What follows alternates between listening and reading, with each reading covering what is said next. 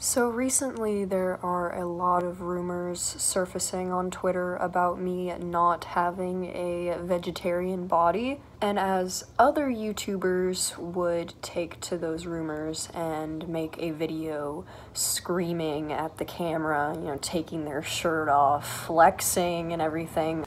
This is my vegetarian body! Ah! This is my body! Um, for me, I have nothing to hide, so I don't need to push my points or my validity as much as other YouTubers would. Um, so it's I'm here making this video to uh, tell you guys that uh, I do have a vegetarian body, and anyone who doesn't think that, um, where's your research? Where's your evidence? Most honest YouTuber.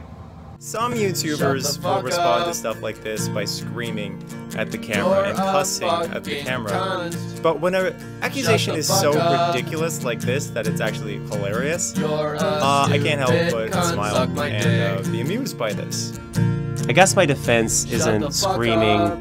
At the camera, I'm not an effing Stop sock puppet like some YouTubers would. Now, I don't need Shut to sit here and scream, I am not an effing this or that, like some people who are obviously guilty of something.